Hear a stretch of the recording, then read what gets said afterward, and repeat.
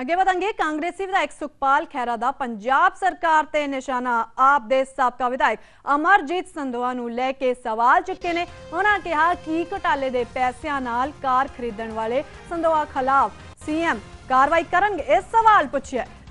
ਤੇ ਉਸ ਤੋਂ ਇਲਾਵਾ ਜੰਗਲਾਤ ਘੁਟਾਲੇ ਵਿੱਚ ਸ਼ਾਮਲ ਦਾਗੀ ਅਧਿਕਾਰੀ ਵੱਲੋਂ ਦਿੱਤੇ ਪੈਸਿਆਂ ਨਾਲ ਸੰਦੋਆ ਨੇ ਕਾਰ ਖਰੀਦੀ। ਖੈਰਾ ਦਾ ਇਹ ਕਹਿਣਾ ਹੈ ਕਿ ਮਾਨ ਸੰਦੋਆ ਖਿਲਾਫ ਕਾਰਵਾਈ ਕਰਨਗੇ ਜਾਂ ਸਿਰਫ ਸਿਆਸੀ ਵਿਰੋਧੀਆਂ ਨੂੰ ਹੀ ਨਿਸ਼ਾਨਾ ਬਣਾਉਣਗੇ? ਇਸੇ ਦੇ ਤੌਰ ਤੇ ਸੀਐਮ ਮਾਨ ਤੋਂ ਇਹ ਸਵਾਲ ਪੁੱਛੇ ਨੇ ਕਾਂਗਰਸੀ ਵਿਧਾਇਕ ਸੁਖਪਾਲ ਖਹਿਰਾ ਨੇ। ਆਪਣੀ ਪਾਰਟੀ ਦੇ ਜਿਹੜੇ ਵਿਧਾਇਕ ਨੇ, ਉਹਨਾਂ ਨੂੰ ਵੀ ਘੇਰਦੇ ਨੇ, ਪਾਰਟੀ ਪ੍ਰਧਾਨ ਨੇ, ਉਹਨਾਂ ਨੂੰ ਵੀ ਘੇਰਦੇ ਨੇ ਤੇ ਹੁਣ ਆਮ ਆਦਮੀ ਪਾਰਟੀ ਨੂੰ ਵੀ ਘੇਰਦੇ ਹੋਏ ਨਜ਼ਰ ਆਏ। ਆਮ ਆਦਮੀ ਪਾਰਟੀ ਦੇ ਸਾਬਕਾ ਵਿਧਾਇਕ ਅਮਰਜੀਤ ਸੰਦੋਆ ਨੂੰ ਲੈ ਕੇ ਸੁਖਪਾਲ ਖਹਿਰਾ ਨੇ ਸਵਾਲ ਚੁੱਕੇ ਨੇ। ਉਹਨਾਂ ਕਿਹਾ ਕਿ ਘੁਟਾਲੇ ਦੇ ਪੈਸਿਆਂ ਨਾਲ ਕਾਰ ਖਰੀਦਣ ਵਾਲੇ ਸੰਦੋਆ ਖਿਲਾਫ ਸੀਐਮ ਕਾਰਵਾਈ ਕਰਨਗੇ। ਸਿੱਧਾ ਤੇ ਸੀਐਮ ਤੋਂ ਸਵਾਲ ਪੁੱਛੇ। ਇਸ ਤੋਂ ਇਲਾਵਾ ਜੰਗਲਾਤ ਘੁਟਾਲੇ ਵਿੱਚ ਸ਼ਾਮਲ ਦਾਗੀ ਅਧਿਕਾਰੀ ਵੱਲੋਂ ਦਿੱਤੇ ਪੈਸਿਆਂ ਨਾਲ ਸੰਦੋਆ ਨੇ ਕਾਰ ਖਰੀਦੀ। ਇਹ ਵੀ ਇੱਕ ਇਲਜ਼ਾਮ ਲਗਾਇਆ। ਜੰਗਲਾਤ ਘੁਟਾਲੇ ਵਿੱਚ ਸ਼ਾਮਲ ਦਾਗੀ ਅਧਿਕਾਰੀ ਵੱਲੋਂ ਦਿੱਤੇ ਪੈਸਿਆਂ ਨਾਲ ਸੰਦੋਆ ਨੇ ਕਾਰ ਖਰੀਦੀ। ਤੇ ਇਸ ਤੋਂ ਇਲਾਵਾ ਸਵਾਲ ਪੁੱਛੇ ਨੇ, ਕਿ ਮਾਨ ਸੰਦੋਆ ਖਿਲਾਫ ਕਾਰਵਾਈ ਕਰਨਗੇ ਜਾਂ ਸਿਰਫ ਸਿਆਸੀ ਵਿਰੋਧੀਆਂ ਨੂੰ ਹੀ ਨਿਸ਼ਾਨਾ ਬਣਾਉਣਗੇ।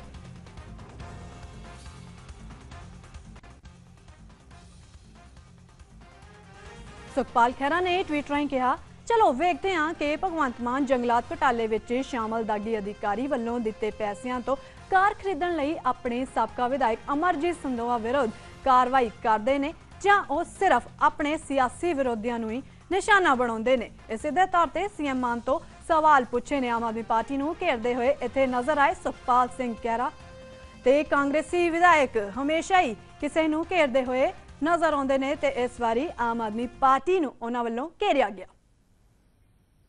ਅੱਗੇ ਵਧਾਂਗੇ, ਦਿੱਲੀ ਵਿੱਚ ਆਪਰੇਸ਼ਨ ਲੋਟਸ ਤੇ ਸ਼ਰਾਬ ਨੀਤੀ ਤੇ ਬਵਾਲ ਹੁੰਦਾ ਨਜ਼ਰ ਆ ਰਿਹਾ। ਦਿੱਲੀ ਵਿਧਾਨ ਸਭਾ ਵਿੱਚ ਸੀਐਮ ਕੇਜਰੀਵਾਲ ਭਰੋਸਗੀ ਮਤਾ ਪੇਸ਼ ਕਰਨਗੇ। ਚਰਚਾ ਮਗਰੋਂ ਤੈਅ ਕਰਨਗੇ ਕਿ VOTING ਹੋਵੇਗੀ ਜਾਂ ਫਿਰ ਸਰਬਸੰਮਤੀ ਨਾਲ ਮਤਾ ਪਾਸ ਹੋਵੇਗਾ। ਬੀਜੇਪੀ ਨੇ ਕੇਜਰੀਵਾਲ ਸਰਕਾਰ ਨੂੰ ਘੇਰਨ ਲਈ ਰਣਨੀਤੀ ਵੀ ਉਲੀਕ ਲਈ ਹੈ ਇੱਥੇ। ਤੇ ਭਾਜਪਾ ਆਬਕਾਰੀ ਨੀਤੀ ਤੇ ਕਲਾਸਰੂਮ ਦਾ ਮੁੱਦਾ ਵੀ ਚੁੱਕੇਗੀ। ਇਸ ਤੋਂ ਇਲਾਵਾ ਭਾਜਪਾ ਮ- ਮਨੀਸ਼ ਸਿਸੋਦੀਆ ਨੂੰ ਕੈਬਨਿਟ ਚੋਂ ਬਰਖਾਸਤ ਕਰਨ ਦੀ ਮੰਗ ਤੇ ਇਸ ਸਮੇਂ ਵਜੀਦ ਹੈ। ਦਿੱਲੀ ਵਿੱਚ ਆਪਰੇਸ਼ਨ ਲੋਟਸ ਤੇ ਸ਼ਰਾਬ ਨੀਤੀ ਤੇ ਲਗਾਤਾਰ ਸਵਾਲ ਉੱਠ ਰਹੇ ਨੇ ਤੇ ਇਸ ਮੁੱਦੇ ਨੂੰ ਜੇਕਰ ਵਿਧਾਨ ਸਭਾ ਦੀ ਗੱਲ ਕੀਤੀ ਜਾਵੇ, ਇਹ ਬੇहद ਗਰਮਾਉਂਦਾ ਜਾ ਰਿਹਾ ਹੈ ਮੁੱਦਾ। ਆਪਰੇਸ਼ਨ ਲੋਟਸ ਤੇ ਸ਼ਰਾਬ ਨੀਤੀ।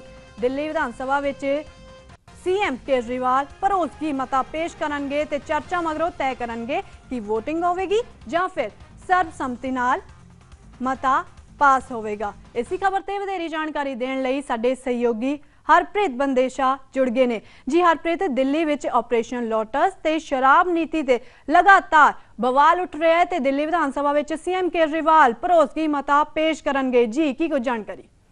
ਦੇਖੋ, ਰਾਜਧਾਨੀ ਦਿੱਲੀ ਦੇ ਵਿੱਚ ਸ਼ਰਾਬ ਪਾਲਿਸੀ ਜਿਹੜੀ ਸੀ ਉਸ ਨੂੰ ਲੈ ਕੇ ਲਗਾਤਾਰ ਸਰ, ਆਮ ਆਦਮੀ ਪਾਰਟੀ ਦੀ ਸਰਕਾਰ ਤੇ ਬੀਜੇਪੀ ਆਮਣੇ ਸਾਹਮਣੇ ਨਜ਼ਰ ਆ ਰਹੇ ਨੇ। ਉਸ ਤੋਂ ਬਾਅਦ ਆਮ ਆਦਮੀ ਪਾਰਟੀ ਵੱਲੋਂ ਕਿਹਾ ਗਿਆ ਕਿ ਸਾਡੇ ਵਿਧਾਇਕਾਂ ਦੀ ਕਥਿਤ ਤੌਰ ਤੇ ਖਰੀਦੋ ਫਰੋਖਤ ਦੇ ਆਰੋਪ ਵੀ ਲੱਗੇ, ਜਿਸ ਨੂੰ ਲੈ ਕੇ ਖੂਬ ਸਾਰੀ ਸਿਆਸਤ ਜਿਹੜੀ ਹੈ ਭਖਦੀ ਨਜ਼ਰ ਆਈ। ਅੱਜ ਉਸੇ ਦੇ ਚੱਲਦਿਆਂ ਹੀ ਮੁੱਖ ਮੰਤਰੀ ਦਿੱਲੀ ਅਰਵਿੰਦ ਕੇਜਰੀਵਾਲ, ਅੱਜ ਦਿੱਲੀ ਵਿਧਾਨ ਸਭਾ ਦੇ ਵਿੱਚ ਖੁਦ ਵਿਸ਼ਵਾਸ ਮਤਾ ਜਿਹੜਾ ਨੇ ਉਹ ਪ੍ਰਸਤਾਵ ਕਰਨ ਜਾ ਰਹੇ ਨੇ। ਮੰਨਿਆ ਜਾ ਰਿਹਾ ਹੈ ਕਿ ਇਹ ਜਿਹੜਾ ਸਪੈਸ਼ਲ ਸੈਸ਼ਨ ਬੁਲਾਇਆ ਗਿਆ ਹੈ, ਇਸ ਦੇ ਵਿੱਚ ਪ੍ਰਸਤਾਵ ਤੇ ਚਰਚਾ ਤੋਂ ਬਾਅਦ VOTING ਕਰਾਈ ਜਾਏਗੀ ਤੇ ਇਹਨੂੰ ਧਵਨੀ ਮਤ ਵੀ ਕਰਾਇਆ ਜਾਏਗਾ।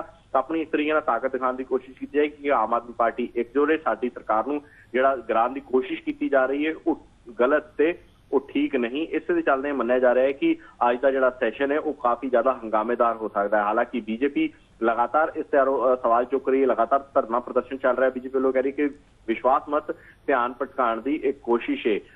ਮਨੀਸ਼ ਸਿਸੋਦੀਆ ਦਾ ਲਗਾਤਾਰ ਅਸਤੀਫਾ ਮੰਗਿਆ ਜਾ ਰਿਹਾ ਹੈ। ਕਿਹਾ ਜਾ ਰਿਹਾ ਹੈ ਕਿ ਉਹਨਾਂ ਨੂੰ ਪਾਰਟੀ ਤੋਂ ਕੱਢਿਆ ਜਾਏ ਉਹਨਾਂ ਨੂੰ ਅ, ਮਿਨਿਸਟਰੀ ਤੋਂ ਵੀ ਹਟਾਇਆ ਜਾਏ। ਹਾਲਾਂਕਿ ਆਮ ਆਦਮੀ ਪਾਰਟੀ ਲਗਾਤਾਰ ਇਹ ਕਹਿੰਦੀ ਆਈ ਹੈ ਕਿ ਅਸੀਂ ਬਿਲਕੁਲ ਕੱਟਰ ਇਮਾਨਦਾਰ ਹਾਂ ਅਸੀਂ ਕੁਝ ਗਲਤ ਕੰਮ ਨਹੀਂ ਕੀਤਾ। ਉੱਥੇ ਆਮ ਆਦਮੀ ਪਾਰਟੀ ਨੇ ਇਹ ਵੀ ਦਾਅਵਾ ਕੀਤਾ ਸੀ ਪਿਛਲੇ ਦਿਨਾਂ ਕਿ ਬੀਜੇਪੀ ਦਿੱਲੀ ਵੱਲੋਂ ਕੇਜਰੀਵਾਲ ਸਰਕਾਰ ਨੂੰ ਗਿਰਾਉਣ ਦੀ ਕੋਸ਼ਿਸ਼ ਕੀਤੀ ਜਾ ਰਹੀ ਹੈ। ਇਸ ਲਈ ਪਾਰਟੀ ਨੇ ਉਹਨਾਂ ਦੇ 40 ਵਿਧਾਇਕਾਂ ਨੂੰ 20-20 ਕਰੋੜ ਦਾ ਆਫਰ ਦੇਣ ਦੀ ਗੱਲ ਕੀਤੀ ਗਈ ਹੈ। ਇਹ ਆਰੋਪ ਵੀ ਲੱਗੇ।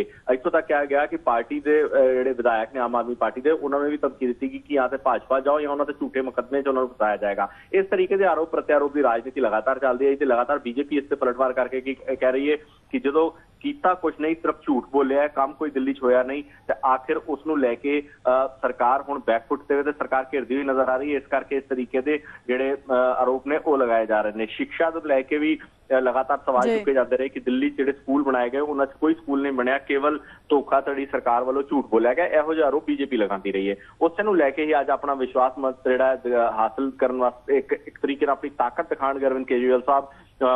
ਦਿੱਲੀ ਵਿਧਾਨ ਸਭਾ 'ਚ ਕਿ ਪੂਰੀ ਪਾਰਟੀ ਇਕਜੁੱਟ ਹੈ। ਤੇ ਕੇਵਲ ਉਹਨਾਂ ਦੀ ਪਾਰਟੀ ਨੂੰ ਬਦਨਾਮ ਕਰਨ ਦੀ ਉਹਨਾਂ ਦੀ ਪਾਰਟੀ ਨੂੰ ਤੋੜਨ ਦੀ ਕੋਸ਼ਿਸ਼ ਕੀਤੀ ਜਾ ਰਹੀ ਹੈ। ਹਰਪ੍ਰੀਤ ਇਸ ਤੋਂ ਪਹਿਲਾਂ ਜਦੋਂ ਪ੍ਰਦਰਸ਼ਨ ਕਰਦੇ ਨਜ਼ਰ ਆਏ ਸਨ ਬੀਜੇਪੀ ਦੇ ਵਰਕਰ ਤੇ ਇਸ ਤੋਂ ਇਲਾਵਾ ਆਮ ਆਦਮੀ ਪਾਰਟੀ ਦੇ ਜੋ ਆਗੂ ਸਨ ਤੇ ਖੋਖਾ ਖੋਖਾ ਤੇ ਧੋਖਾ ਧੋਖਾ ਇਹ ਸੁਣਨ ਨੂੰ ਵੀ ਮਿਲਿਆ ਸੀ। ਤੇ ਅੱਜ ਬੀਜੇਪੀ ਨੇ ਕੇਜਰੀਵਾਲ ਸਰਕਾਰ ਨੂੰ ਘੇਰਨ ਲਈ ਕੀ ਰਣਨੀਤੀ ਉਲੀਕੀ ਹੈ? ਦੇਖੋ ਸਰਕਾਰ ਦੇ ਖਿਲਾਫ ਲਗਾਤਾਰ ਇੱਕ ਮੋਰਚਾ ਬੀਜੇਪੀ ਵੱਲੋਂ ਖੋਲਿਆ ਗਿਆ। ਬੀਜੇਪੀ ਲਗਾਤਾਰ ਇਸ ਦੇ ਖਿਲਾਫ ਜਿਹੜਾ ਮੋਰਚਾ ਖੋਲ ਕੇ ਬੈਠੀ ਹੋਈ ਹੈ। ਥੋੜੀ ਦੇਰ ਪਹਿਲਾਂ ਇੱਕ ਬੀਜੇਪੀ ਵੱਲੋਂ ਬਕਾਇਦਾ ਪ੍ਰੈਸ ਕਾਨਫਰੰਸ ਗੌਰਵ ਪਾਟਿਆ ਨੇ ਉਹਨਾਂ ਵੱਲੋਂ ਪ੍ਰੈਸ ਕਾਨਫਰੰਸ ਵੀ ਕੀਤੀ ਗਈ। ਉਹਨਾਂ ਦਾ ਕਹਿਣਾ ਹੈ ਕਿ ਜਿੱਥੇ ਇੱਕ ਆਬਕਾਰੀ ਘੁਟਾਲਾ ਹੋਇਆ ਆਪਣੇ ਆਪ ਨੂੰ ਕੱਟਰ ਇਮਾਨਦਾਰ ਸਰਟੀਫਿਕੇਟ ਦਿੰਦੇ ਨੇ ਉੱਥੇ ਹੀ ਉਹਨਾਂ ਦੇ ਉੱਤੇ ਹੁਣ ਸਿੱਖਿਆ ਦੇ ਉੱਤੇ ਰਾਜਨੀਤੀ ਕਰਨ ਦੀ ਵੀ ਗੱਲ ਕੀਤੀ ਜਾ ਰਹੀ ਕਿ ਸਿੱਖਿਆ ਘੁਟਾਲਾ ਹੈ। ਅ, ਢਾਈ ਸਾਲ ਪਹਿਲਾਂ ਸੀਵੀਸੀ ਨੇ ਦਿੱਲੀ ਵਿਜੀਲੈਂਸ ਨੂੰ ਦੇ ਜਿਹੜੇ ਸਕੱਤਰ ਸਨ ਉਹਨਾਂ ਨੂੰ ਸ਼ਿਕਸ਼ਾ 'ਚ ਘੁਟਾਲਾ ਕਰਦੇ ਇੱਕ ਰਿਪੋਰਟ ਭੇਜੀ ਸੀ। ਅਜੇ ਤੱਕ ਇਸ ਤੇ ਕੋਈ ਕਾਰਵਾਈ ਨਹੀਂ ਕੀਤੀ ਇਸ ਕਰਕੇ ਲਗਾਤਾਰ ਲਗਾਤਾਰ ਦੋਵਾਂ ਅਹ, ਧਿਰਾਂ ਜਿਹੜੀਆਂ ਨੇ ਇੱਕ ਦੂਜੇ ਦੇ ਉੱਤੇ ਤੰਜ ਇੱਕ ਦੂਜੇ ਤੇ ਆਰੋਪ ਪ੍ਰਤਿਆਰੋਪ ਲਗਾ ਰਹੀਆਂ ਨੇ। ਲੇਕਿਨ ਜ਼ਾਹਿਰ ਤੌਰ ਤੇ ਵੱਡਾ ਸਵਾਲ ਹੈ ਇਹ ਜਿਹੜਾ ਉੱਠਦਾ ਨਜ਼ਰ ਆਇਆ ਕਿ ਆਬਕਾਰੀ ਨੀਤੀ ਨੂੰ ਲੈ ਕੇ ਜੇਕਰ ਆਬਕਾਰੀ ਨੀਤੀ ਸਹੀ ਸੀ ਫਿਰ ਉਹਨੂੰ ਵਾਪਸ ਕਿਉਂ ਲਿਆ ਗਿਆ? ਇਹ ਸਵਾਲ ਲਗਾਤਾਰ ਵਿਪਕਸ਼ ਜਿਹੜਾ ਉਹ ਸਰਕਾਰ ਤੋਂ ਚੁੱਕ ਰਿਹਾ ਹੈ। ਉੱਥੇ ਇਹ ਵੀ ਕਿਹਾ ਜਾ ਰਿਹਾ ਹੈ ਕਿ ਜੇਕਰ ਤੁਸੀਂ ਕੱਟਰ ਇਮਾਨਦਾਰ ਹੋ ਤਾਂ ਫਿਰ ਸਤਿੰਦਰ ਜੈਨ ਅਜੇ ਤੱਕ ਅੰਦਰ ਕਿਉਂ ਨੇ?